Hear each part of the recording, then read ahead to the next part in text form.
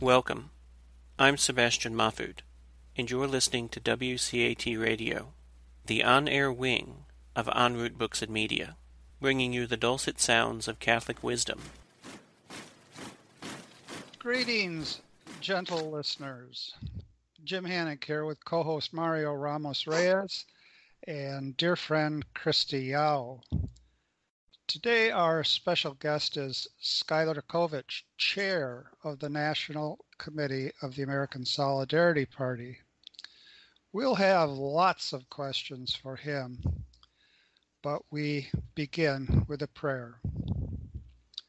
Come, Holy Spirit, fill the hearts of your faithful and kindle in them the fire of your love. Send forth your Spirit, and they shall be created, and you will renew the face of the earth.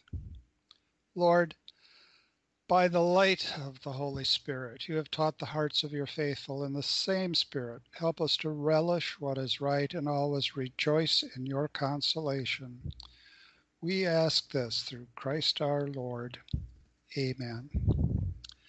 Before we begin to ply Skylar with questions, I'd like to take a couple of minutes to talk about why it is on this uh, WCAT Radio Catholic uh, network of stations, we're talking politics. And in fact, we're talking party politics. Why is that? Well, there are lots and lots of reasons. Uh, first reason is that if we're going to have social justice, if we're going to have a culture of life, we have to engage in politics, and we have to, at least in our current culture, engage in party politics. The teaching church's view of this is that, uh, yes, that's what we got to do, and in particular, apart from extreme circumstances. In particular, this is the specific role of lay people. Now, it's not as if somehow the station endorsed the American Solidarity Party, but this particular program, the Open Door, does endorse the American Solidarity Party and we do so wholeheartedly. In doing so, we can't help but think of Pope Francis's call for the laity to be more engaged in political efforts than in the past. And we can't help but think of the whole range of social commentators who call our attention to the pivotal role of civil society. We can understand civil society as the whole range of institutions, large, medium, and small, that come in between the state and the individual. And we have to have a rich and reflective civil society. And we think that the American Solidarity Party is making a critical contribution to civil society. Now, as always, there are historical parallels to what we're doing, and it's already a a, a, a call to to pick this uh, historical parallel rather than that. But I want to mention two in particular. When the Roman empire began to fall apart and when it continued to fall apart and when it then crashed ingloriously and disastrously uh, there was this fellow benedict who organized uh, a whole group of people And the idea was at least we could have, for those dark times, the, the abbeys of the Benedictine order, in which culture continued, in which culture was uh, developed, and from which culture then spread. Fast forward to our time, uh, one noted commentator is saying that we have to revisit the Benedict option because engagement in the larger political order is, is perhaps fruitless. Well, that's not our view, but we understand that we can never lose the lessons that Benedict taught us. Another historical precedent after the bloodletting, the catastrophic disaster of World War II, uh, which in, in some ways pitted fascism uh, uh against uh, uh, communism, uh, against a kind of splintered Western democracy. in the countries of Europe, especially, there was need to rethink how to how to construct a political order. Most everything was in ashes. And that was certainly the case in Italy. And in Italy, it was especially so that the Christian democratic movement developed and offered to uh, Italian politicians trying to reconstruct a, a political order, offered to them a set of principles nothing ready made, but a set of guiding principles. And a key figure in this offer of Christian democracy to Italy, and not only to Italy, but to, to France and Germany as well, was Jacques Maritain. And Jacques Maritain and Christian democracy in general are, are, are sources for reflection that, that, that we, we keep in mind. So there's my apologia for our being resolutely political and trying to be political in the best sense, while having a regard for the common good. That said, as we say, that said, uh, I'm going to ask uh, Skylar Covich a lead question, and then uh, I'm going to strongly encourage Mario and Christy to uh, join in in a whole range of questions, some of which we have in front of us, and some of which will occur spontaneously. First of all, Skylar, how about politics within the American Solidarity Party? I understand that there are a number of crucial votes coming up within the party, and of course, those votes are scheduled the way they are to lead the party into the campaign for POTUS, President of the United States of America uh, status. Skylar, can you get us started here? All right. Uh, thanks for having me on the program, and I'll try to explain all of the upcoming events as simply as I can. So, uh, at the end of June, there's going to be an online election for uh, national committee, uh, as well as a referendum on whether to have another convention to open up the platform, uh, which would be in September, as well as delegates for that convention. Uh, if over half of the of the uh, members who vote decide to open up the platform. Uh, and in September, uh, if that passes, we will have that convention to open up the platform, uh, which will be done by the uh, 28 delegates who who win that delegate election. There are about 50 candidates, I believe, and 28 of them will win. Uh, also in September, regardless of what happens in June, we are going to choose our presidential candidate, which uh, will be done by ranked choice voting, as well as our uh, vice presidential candidate. Uh, so for the national committee elections, uh, I'll talk about that a little bit less because unfortunately, uh, if you're not already a voting member, it's uh, too late to be. Uh, the, the national committee passed a motion earlier this year that you have to be a you have to have been a, a voting member for two months in order to uh, vote in elections. Uh, so if you if you were a voting member and your membership has expired, uh, uh you can renew. But it, it's in 2017 the the party passed a motion requiring dues to be paid in order to vote, and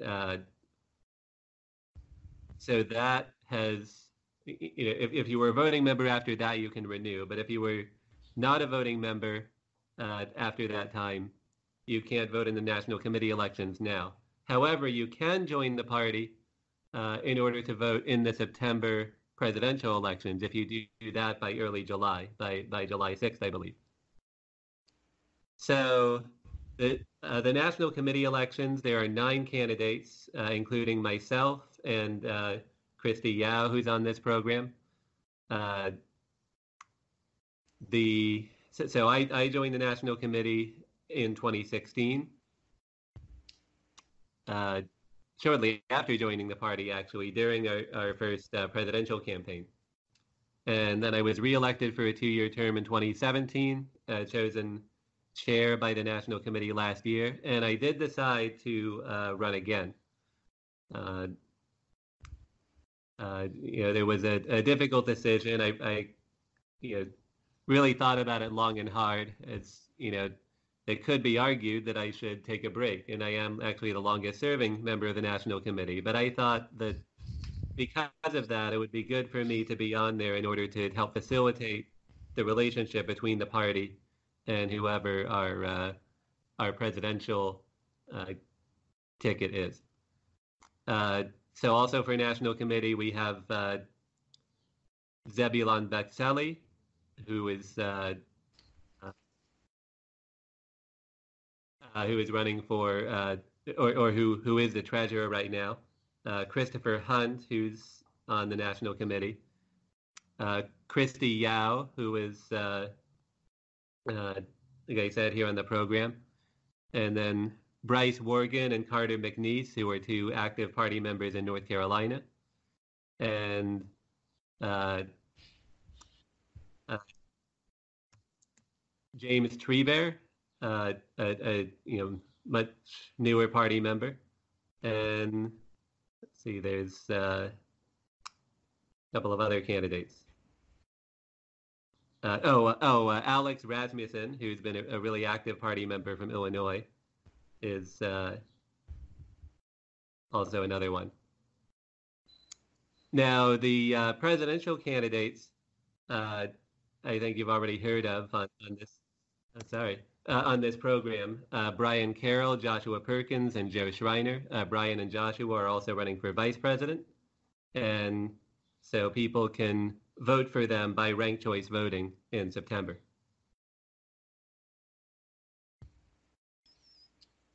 Quite a lineup. Quite uh, a yeah. lineup. Yes, a lot going on. Uh, oh, and also we have a mayoral candidate uh, running in Georgia. So, in addition to our presidential campaign, we do have one candidate for local office, and that election will be in the fall.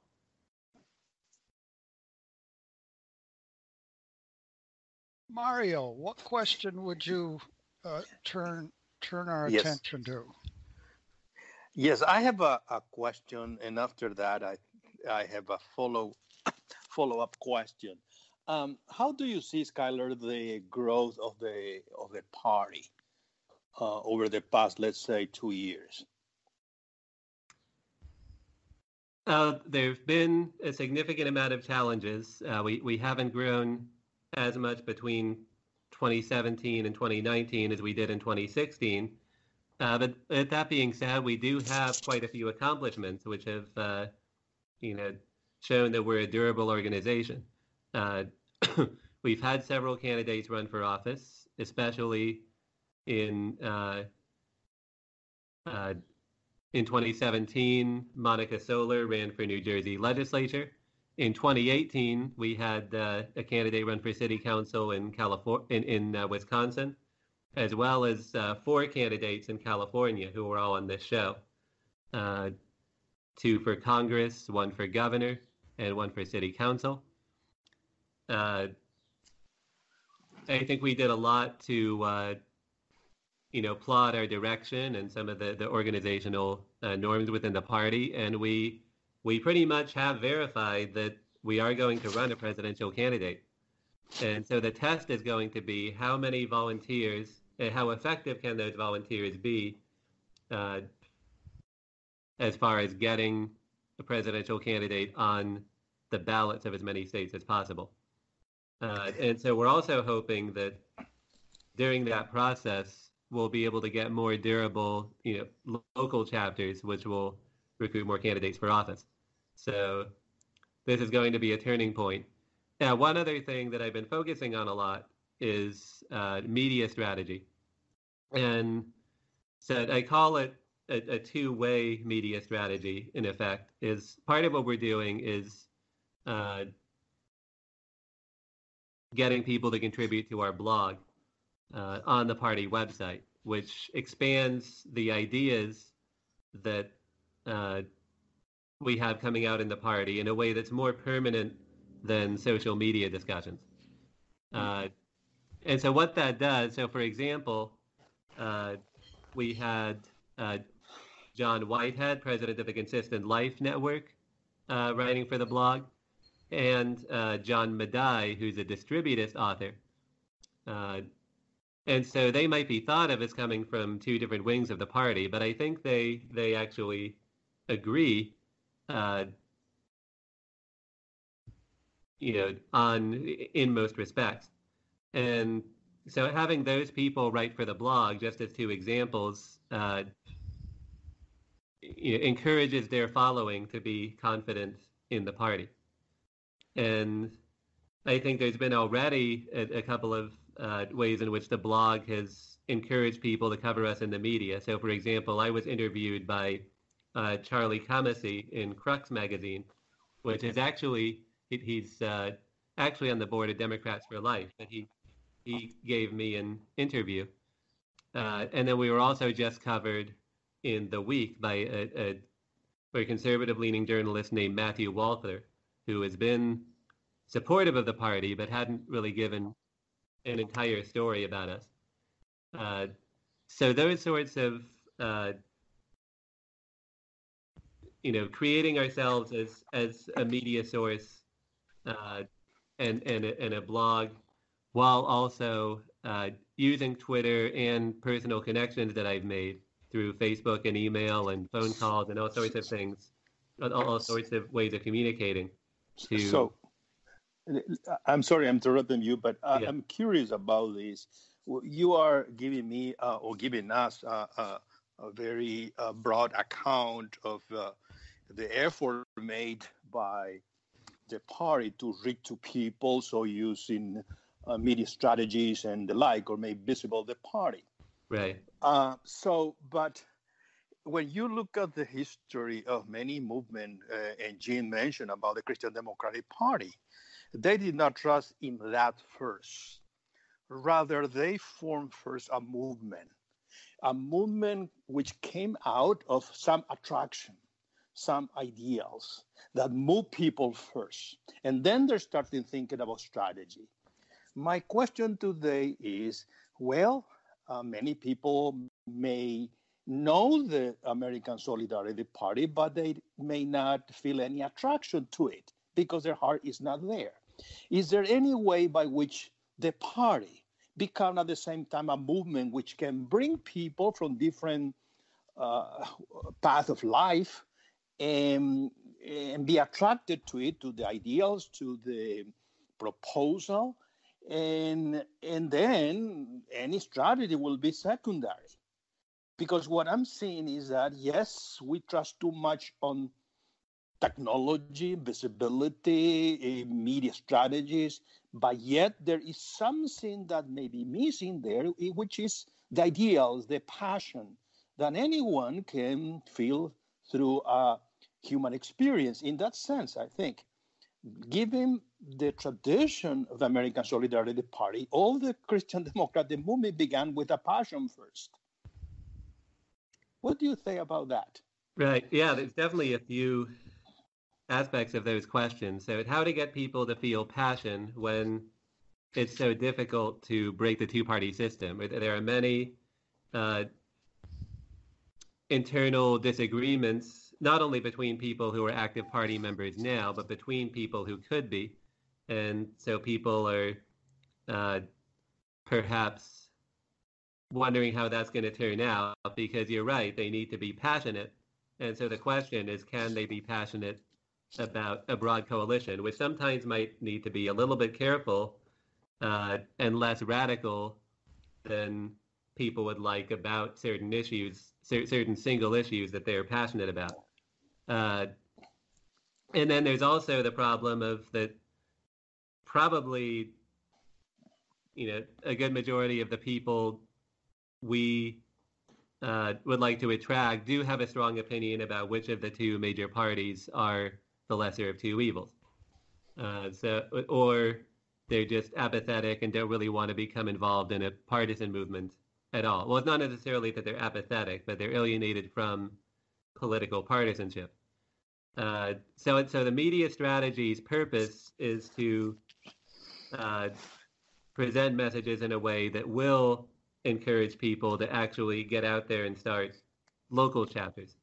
Uh, so the uh, if, for example, James and I have uh, uh, on this program have been able to meet several times in Southern California along with others, and that definitely, I think, has encouraged both of us to become more active in the party.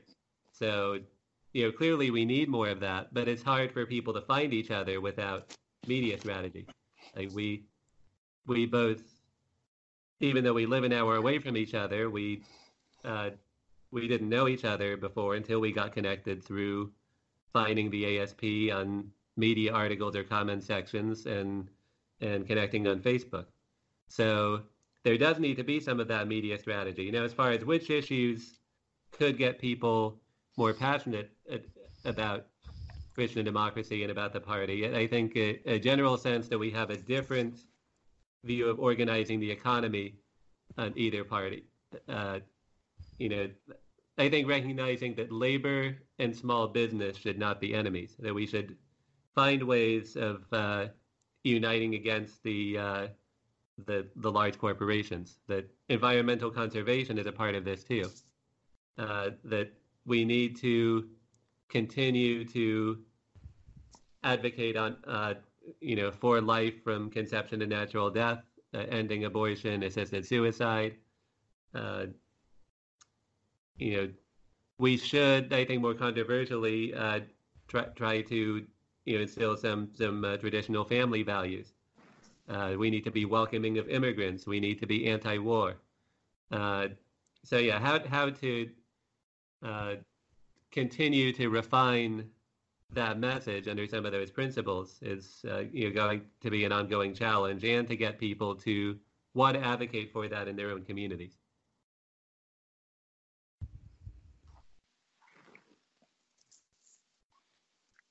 Mario, what do you have yes. to say about that? Well, I um, I agree in general. Uh, everything that you said. We need some means through which we can get uh, get to know each other and form these small communities, which are the, I think, the starting point of any movement. And my concern is precisely that in order to have a strong party, we need to have a movement first. And movement in this sense means a group of people who move, is moved by an attraction, an ideal, through the common good, the social justice, and feel passionate about this uh, set of ideals. And then uh, ultimately, they set up the structure, the institution, in this case, would be the American Solidarity Party so that when we just trust on the institution in order to grow, it seems that the institution cannot give that because it's not in its nature. The nature of a, any political party as a means through which we can achieve the common good is something that is feeding the, the institution. That's come, uh, let's say, prior to the institution, and that is a movement. So my my my my view is that we need to start feeding this uh, people who may have different view about certain issues But ultimately, there is an overriding passion that led them to, to participate in a movement which ultimately maybe uh, be established in an institution like American Solidarity Party. And this passion also means be triggered by the rejection of the traditional party, which are completely schizophrenic because uh, generally when you belong to this party, uh, least 50% of the uh, policies there disagree with your own desire of the of the of the common good.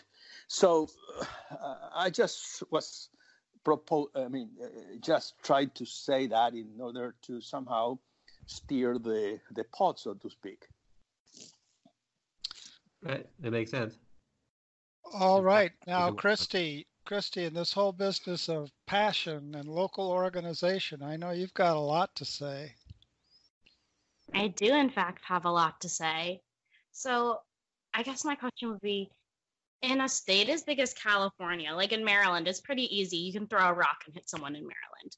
Like it's not it's not a large state. How do you lead a state like California or a bigger state where you can't always meet locally?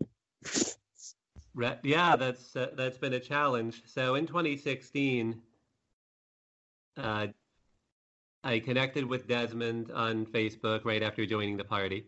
Uh, Desmond Silveira, who was on the national committee at the time and ended up running for governor. And I volunteered to help him set up a California chapter.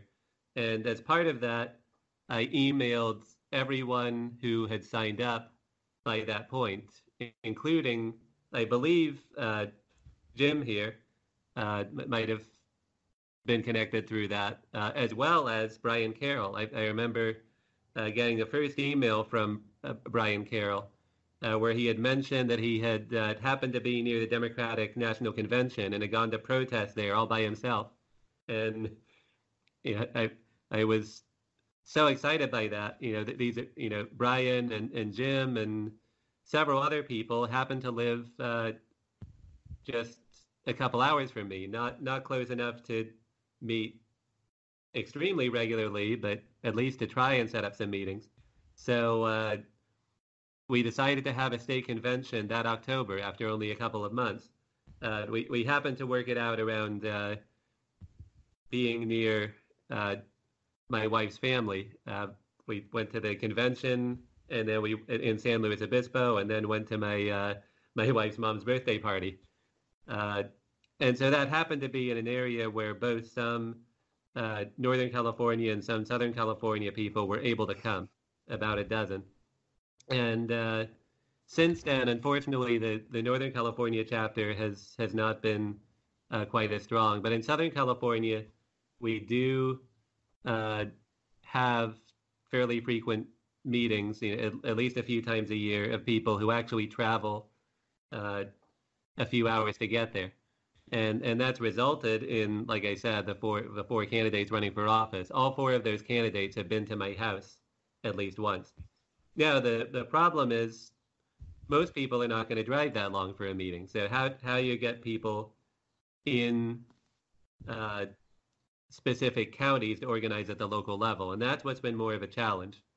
Uh, I know Jim has actually been able to have meetings with several people in Los Angeles, and I, I've tried to, to uh, get the word out. In I, I live in, in Ventura and uh, still uh, visit Santa Barbara a lot too. But it's been a significant challenge of actually moving toward real local organizations. That's going to be. Uh, I hope that some members will have some some ways of uh, reforming that and providing some suggestions about that over the next year. And that that's been a significant challenge throughout the country to to turn those in-person meetings of a few activists into real organization. Christy, some follow-ups.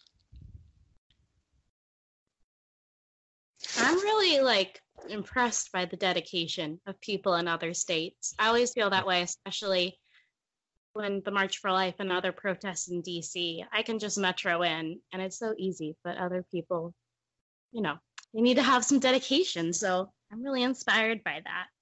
yes, it, it's it, it is really inspiring. There there are other success stories. Uh, Amar Patel and Tai Chi Kuo in Chicago have set up uh, you know, community service opportunities, and that's actually, I think, in some cases, gotten dozens of people out. Uh, the uh, Pittsburgh chapter in, in Pennsylvania had, had a bunch of meetings. Uh, a lot of people also try to visit other party members when they uh, travel out of town. Uh, and then, oh, of course, there's the Ohio chapter uh, uh, Midwest meeting is uh, is another one. Uh, the the Texas chapter had a convention where I think some people travel pretty far to get there. Uh, so yeah, we just need to turn that into uh, significant on the ground activity for especially for presidential ballot access. But I think intellectual uh, active intellectual workshops of some sort and service opportunities will be good too. And uh, I, I did just find someone who, you know, one of the challenges for state chapters is maybe somebody wants to organize locally but doesn't want to be on their state committee. Like, for example, I, I think I found someone for uh, New York City who might be in that position. So the party has figured out some ways to allow people to do that. let me uh, uh, make a couple of connections. At least I, I hope they connect. Oh, yeah. oh, oh, before I mention, oh yeah, Grand Rapids, is, Michigan, is another example of of an in-person meeting where where Jim, I believe you have some, some connection as well, right? Yes, it's the Athens of the Midwest. not widely known as not widely known as such, but yes here are here are a couple thoughts that I, I, I hope connect with what we're trying to get at.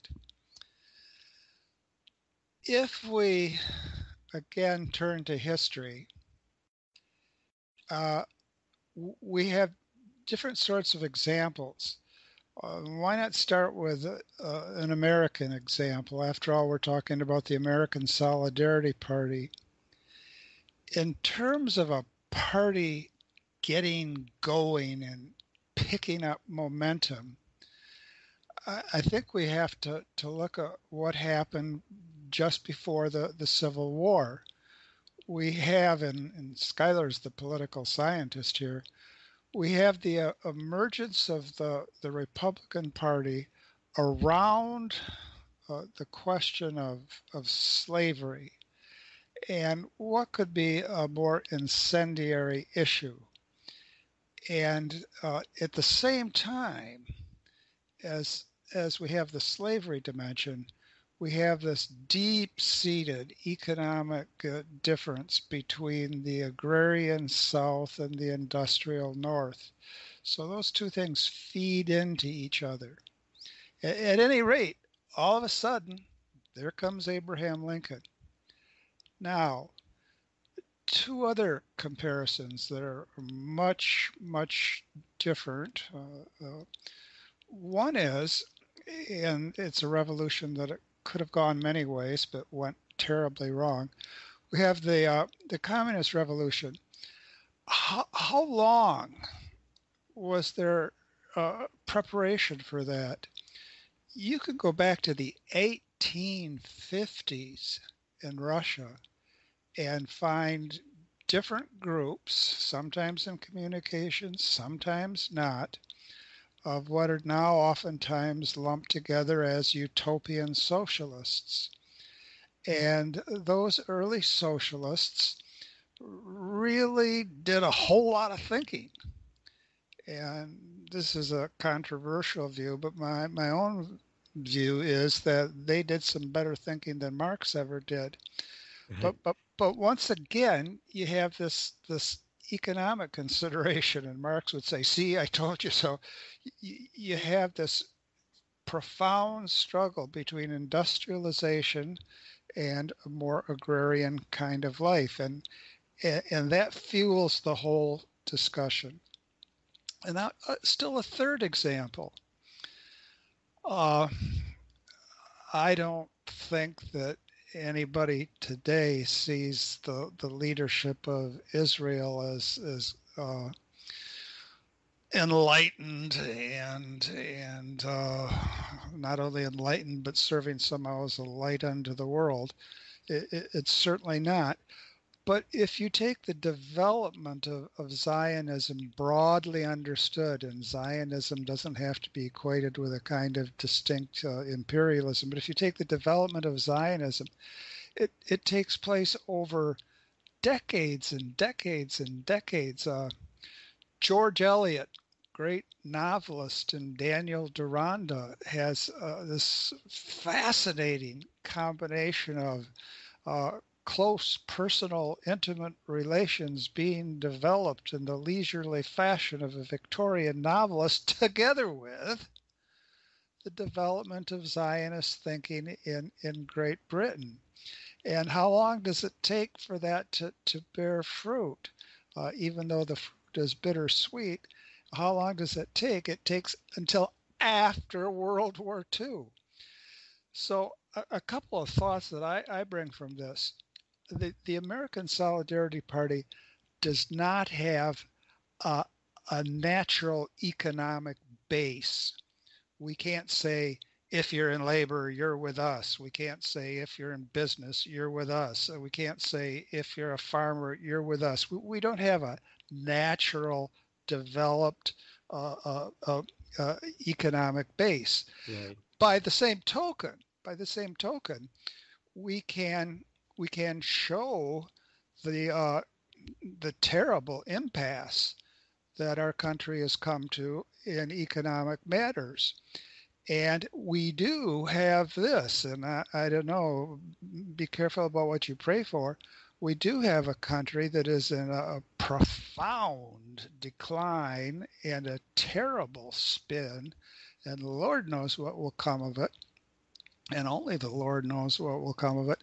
And and we can be ready. We can be talking. We can have some principles. But if i were to fast forward two centuries it wouldn't surprise me in the least if if we we were still then very much a minority party. But i i hope that were that to happen we'd be a minority party that still had these key key principles on the other hand, fast forward two centuries and, and good grief, we might have made an enormous difference. But for, for to go either way, we have to be, we have to first of all survive, we have to continue.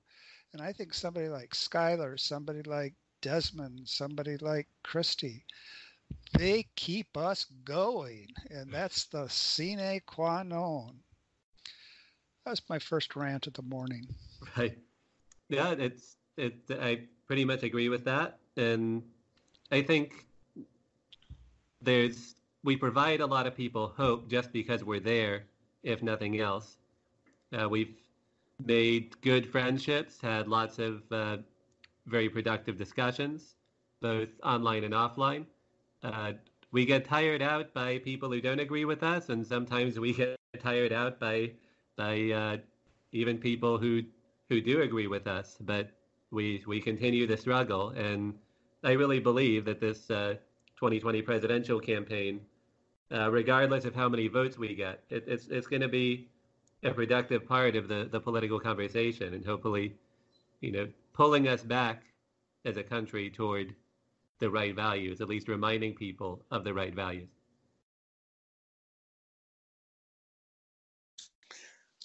One of the the point I think, going back to what uh, Jim said, that we may um, emphasize is um, what is happening today, at least what is happening today, according to certain people, observers, journalists. Um, and I'm referring to those who share with us at least the experience of the Christian faith. And it is that in our uh, political system, particularly in our economic system, the what we may call pure economic libertarianism is um, not just um, delivering what it promised. So we are getting more and more alienated from the political, the economic system, and the divide between uh, rich and poor is getting uh, more profound, and that is um, very easy to observe when you move from one big city to the Midwest. And so that system seems uh, to be failing to many people, the working class, if you want to use a term. But at the same time, people are tired, particularly uh, people, again, within this Christian experience, about what is called uh, libertinism, which means uh, free ride in everything that has to do with, we may say, with life. So, abortion on demand and everything in between. So if you just take these two perspectives today, or these two uh, dimension today, people are warning that is a, a dead end, then we may have to these people a proposal to give which means somehow we are not saying i'm not saying that we are trying to combine both or uh, have the proposal to uh, prevent those things to happening and you are we are pro-life or we are not um, we are not completely um, uh, free market uh, marketeers. Rather, we are just for the common good. And so, in that sense, the party is a proposal. But again, it's a proposal has no uh, ground on the have no movement, have no contact with reality, or at least social reality. And so, perhaps we are witnessing right now the beginning of the uh, American Solidarity Party. We're just we are the pioneers in some ways, but again, the party is leading to this awareness that is something wrong in the system, and the way that we have been going so far is not working, and it's not working only here. It's not working in many places around the world, and so I think that's something I, I would suggest uh, that need to take into uh, consideration. Right. Yeah, it's a challenge because you know one problem we have is the the worst of both worlds. So we have you know some huge government bureaucracies that that don't work very well, which would appear to some to be more like socialism, and then we have this these cracks in the system where, where people fall through them unnecessarily, uh, which is like uh, libertarianism. Uh, it does seem like libertarianism is, you know, is the mo- third most popular ideology behind the Democratic and Republican uh, main ideologies, especially if if uh, Justin Amash runs for president. Uh, it'll be very interesting to see what happens, but it clearly doesn't work and we just have, I think, a few competing ideas within the party about what economic system would work better. You know, whether to focus more on building local communities or on uh, building up the uh, federal government programs, so, which don't necessarily need to be mutually exclusive. You know, it could very much well depend on on which program.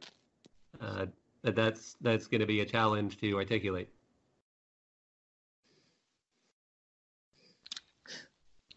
Christy, or what, what, what do you have to say now about this uh, whole business of uh, what would we call it in in uh, L.A. the breakout moment for the uh, Solidarity Party? What what's needed, or or what can we do to figure out what's needed? Well, I'm excited for the breakout, I guess. Um, I would think, I think what's needed, which is kind of what, I don't know, I'm basing, I don't want to say it's a campaign. That sounds too serious. my run for national committee on is we need to reach millennials, which I think a lot of people, since we're so based on social media and online, I think there's a much different culture between like baby boomers or like there's a generation between baby boomers and millennials. Whatever that generation is. And millennials that i see a lot of like disconnect in the solidarity party. And i think we really need to strengthen our outreach right yeah and it, it is concerning that we've had so we have a good college chapter at catholic university of america uh, but we've had some trouble uh, attracting college students to be activists. Uh, the question about there, there's a divide in the millennial generation, which I'm, I guess, at the older end of, about priorities. And so, what what might seem to attract certain millennials might might turn off others. So, I, I guess, you know, it'll be good to continue to discussion about, about uh, what that actually means.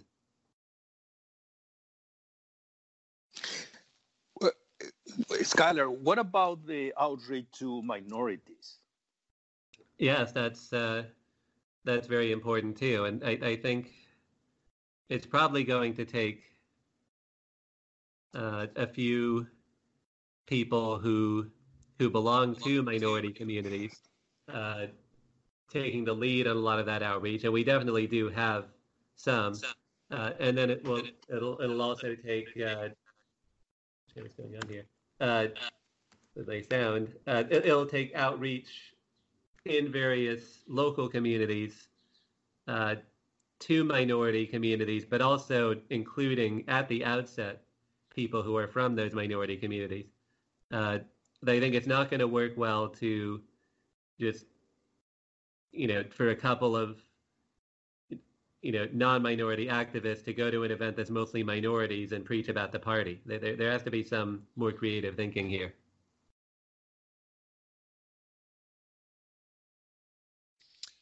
Let me uh, offer a uh, case study uh, of a local sort, if you could call Los Angeles local. Los Angeles County, by the way, the county is now the most populous county in the United States. About a week ago, just barely a week ago, the statistics came out on the number of homeless in the county and the number of homeless in the city. And after a year, during which various uh, public agencies had spent, and I'm going to get close to, to being accurate, but you'll have to check the stats yourself. During a year in which various public agencies had spent in the neighborhood, how about that, of $550 million dealing with questions uh, uh, about homelessness. After a year, this past year, $550 million spent, the number of homelessness in the county and the number of homelessness in the homeless in the city both had gone up greatly in the neighborhood of 15 to 20 percent and people were stunned at least the newspapers were stunned by this news i doubt if people in homeless encampments were stunned. I think they recognized it perfectly well. Now, a couple of things come to mind. Two things. One, nobody really knows with any accuracy how many homeless people there are because these statistics come by way of volunteers going out and counting the homeless. Well, Good grief. I think you'd have about as much luck in an accurate count of pigeons in Los Angeles as you would have an accurate volunteer count of the homeless. But this whole business of how many people are homeless, that, that that's one point.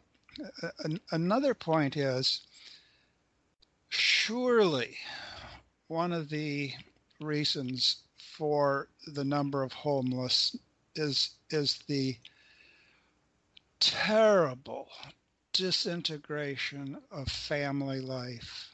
Now, there are other major reasons uh, lack of affordable housing, uh, drug addiction, uh, mental illness. But, but all of these things, I think, connect in a very profound way with the destruction, the ongoing destruction of family life, especially destruction of family life uh, among lower income people. And I don't think that the newspapers have the capacity, uh, the, the moral discipline to call this into account uh, for various reasons. One reason is that the the LA lifestyle, as ballyhooed by the newspapers day after day after day after day, utterly ignores the role of the family. And for that reason, I think we can't see or can't see clearly enough to talk about this profound contribution to this staggering increase in, in, in the homeless. We now have uh, in LA City, around, I think the number was something like 57,000 plus a few hundred homeless people. I agree it, that the you know the family you know breakdown should be a focus, and if if we could get it right, you know the California Republican Party is in significant decline. It's Democratic supermajorities. Uh, you know we could definitely become a, a significant force with you know, if, if things align the right way and if we have the right, you know, hard workers uh, getting it done. Uh, but yeah, I guess so for the last few minutes, I was going to talk about the uh, issues in the state legislature in California with the. Yes, yes, please do, please do. Right, right. So uh, before I was uh, involved in the American Solidarity Party, I was writing my dissertation and, and did finish my doctorate uh, which was largely involving uh, Catholic lobbyists and how they deal with legislative issues, especially poverty. Uh, so I was already interested in these sorts of topics, but in the last few months, actually before some of the most recent bills that are, are making the news, I've been in touch to some extent with the California Catholic Conference and the Archdiocese of Los Angeles uh, that's part of networking. Uh, and so I, I, have, you know, I think a good perspective on on the, what the California Con- Catholic Conference is trying to do in the state legislature. So of course the main bill is which they're working on is Senate Bill 360, which would uh, force priests to report uh, other priests uh, when they commit a crime, uh, even if it's uh, what they confess to them in the sacrament of confession. And actually, a whole bunch of uh, the few remaining Republicans in the California State Senate voted for it too, in addition to all the Democrats. So now there's a misconception that this bill has already passed. Actually, it, it passed the state Senate and it's in a committee of the state assembly.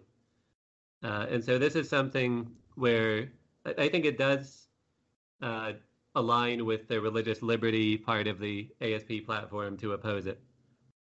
Uh, and so many of us in the California chapter are working on that, trying to make calls and uh, get the word out to oppose this bill. Uh, Senate Bill 24, which is very concerning to me as an uh, alumni of a U- University of California graduate program. Uh, Senate Bill 24 has also passed the state senate and it is in is in an assembly committee, and it would uh, uh, make it so that the UC and CSU health systems would uh, provide abortions. Uh, so we de- we definitely oppose that as a an ASP state chapter. Uh, the California Catholic Conference, even as they're dealing with these two, you know, really significant bills, uh, that would have you know profound you know negative effects for for our, our culture. Uh, the California Catholic Conference tends to be more toward, I would say, a center-left Democrats on economic issues, and there are several bills that they're supporting, including uh, increasing the eligibility for earned income tax credit in California, uh, plan to solve child poverty, and uh, making sure that pregnant and parenting students know their rights. Uh, you know, for that that uh, whole life perspective to to uh, combat abortion. Uh, and so I would say it's you know the American Solidarity Party, and I think especially the California chapter, maybe as a pilot program, should try to get more involved in promoting state legislation. And the California Catholic Conference endorsements are overall a pretty safe bet.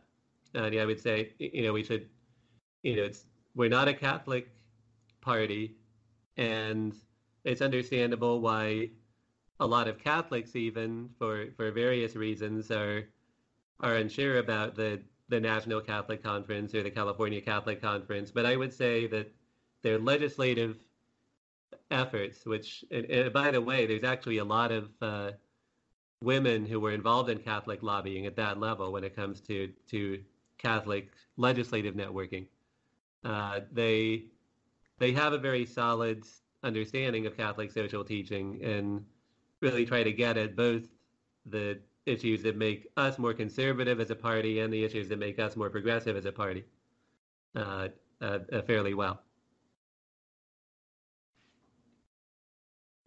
Uh, definitely a good source of information. Yes. Well, Mario and Christy, last thoughts? I have a, I don't know, a quick question. Um, I heard, uh, and I think it's not only in California, I think it's nationwide that the family is in crisis. And that affects the economy of the family. And that has a very um, salient uh, uh, influence on Hispanic families. It's not only Anglo families or minority families. Right.